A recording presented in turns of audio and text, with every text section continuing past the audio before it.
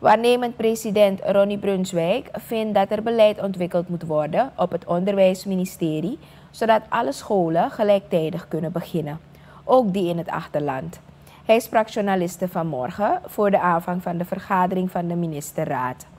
De functionaris geeft aan dat hij persoonlijk niets kan doen aan het probleem, omdat het een kwestie moet zijn waarbij de minister zich ontfermt over de problemen binnen het onderwijs gebeuren.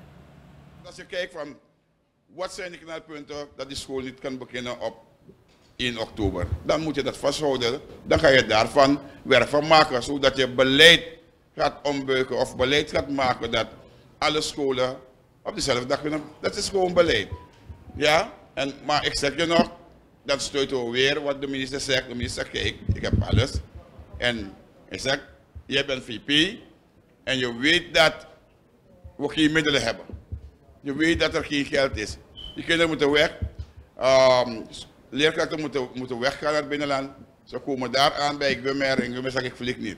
Er zijn een aantal uitdagingen nog die uh, we langzaam maar zeker gaat oplossen. Maar het is wel vervelend dat elke jaar uh, binnenland uh, laat beginnen. Brunswijk geeft aan dat er al te veel over het vraagstuk gesproken is. Hij verduidelijkt dat er vandaag tijdens de ministerraad gesproken zou worden over de kwestie. Er zijn immers ook oplossingsmodellen bedacht tijdens het afgelopen onderwijscongres, meent de waarnemend president.